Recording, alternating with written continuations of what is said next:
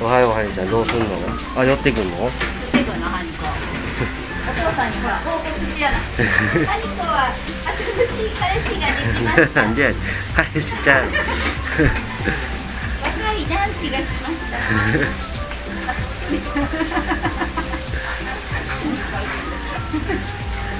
ねえハニコ前冷たかったで 意外に館長は年が取ってるってことですねいい目してるね。